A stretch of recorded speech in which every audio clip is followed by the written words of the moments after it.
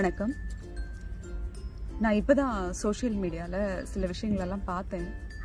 அது பார்த்த உடனே என்ன அறியாமல் ரொம்ப எப்படி சொல்றதுன்னு தெரியல. இதை நான் உள்ளத்துல இருந்து உணர்ச்சி பூர்வமாக தான் பகிர்ந்துக்கிறேன். கருப்பர் கூட்டம் அப்படின்னு புதுசாக ஒரு சமூக புத்துநோய். இது ரொம்ப நாளா இருக்கு. ஆனா இப்ப கொஞ்சம் வெளியில வந்திருக்கு. எல்லாருக்கும் தெரிய வந்திருக்கு. கெட்ட விஷயங்கள் புதக்குழியில போய் புதஞ்சு போற மாதிரி இதெல்லாம் புதஞ்சு போயிருந்தா அப்படியே நல்லா இருக்கும். திரும்ப ஏதோ ஒரு வகையில அந்த சாக்கடை வெளியில வந்ததுனால ரொம்ப அருவறுப்பா இருக்கு. நிஜமாவே அதை பத்தி பேசுறதுக்கு.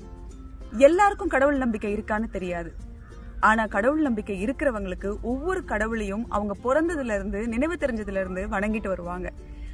எனக்கு ஏன் நினைவு தெரிஞ்சதுல இருந்து முருகா முருகா முருகான்னு தூக்கத்துல கூட எனக்கு முருகர் தான். எல்லாமே முருகர்.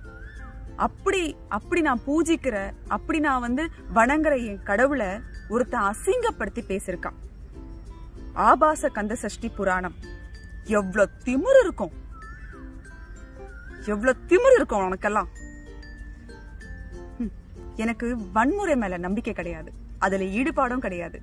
வல்கரா பேசுறதும் எனக்கு வராது. ஆனா இந்த விஷயத்துல என்ன தோணுதுன்னா கண்டிப்பா சூரசம்ஹாரம். இவன் மேல முருகர் நடத்தணும்.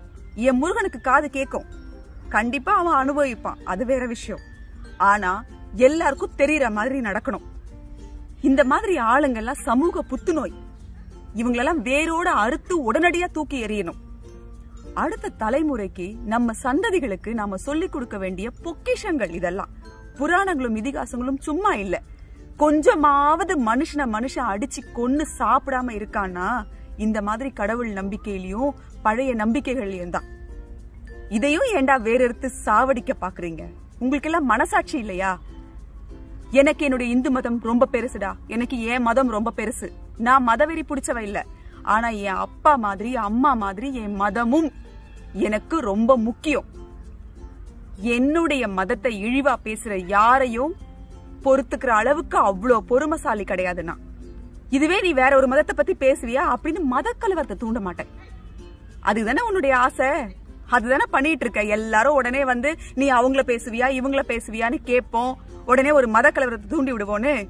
எல்லாருக்கும் அவங்க அவங்க மதம் பெருசுதான். இங்க யாரையுமே தப்பா பேசுறதுக்கு உனக்கு ரைட்ஸ் கிடையாது.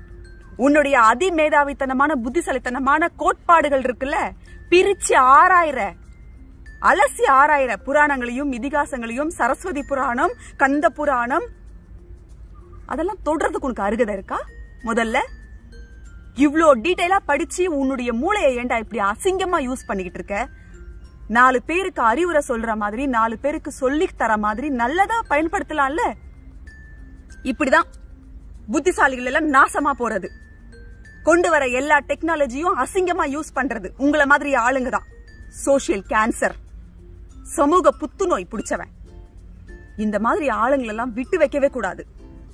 தயவு செய்து இந்த மாதிரி ஆளுங்களுக்கெல்லாம் உடனே ஒரு ஆக்ஷன் எடுத்து தூக்கி உள்ள போடுங்க. என்ன வேணாலும் பேசலாமா? டெமோக்ரசி கண்ட்ரி அப்படின்னா என்ன வேணா வாய்க்கு வந்தது என்ன வேணா பேசலாமா? ஒரு கட்டுப்பாடு இல்லையா? ப்ளீஸ் இதனோட ஹம்பிள் ரிக்வெஸ்ட் இந்த மாதிரி விஷயங்களை வளர விடாதீங்க. நம்ம சமுதாயம் கொஞ்சம் நாகரீகமா கொஞ்சம் அன்பும் கருணையோட வளரணும். இன்னைக்கு நடந்துட்டு இருக்கிற நிறைய வக்கரமான விஷயங்களுக்கெல்லாம் காரணம் இந்த மாதிரி ஆளுங்க தான். இனியும் அதை தொடரக்கூடாது. நம்ம சந்ததிகள் நல்ல விஷயங்களை படிக்கணும் நல்ல விஷயங்களை கத்துக்கணும். தயவு செய்து கையில அதிகாரம் இருக்கிறவங்க அதை நல்ல வகையில பயன்படுத்துங்க. ஓம் முருகா.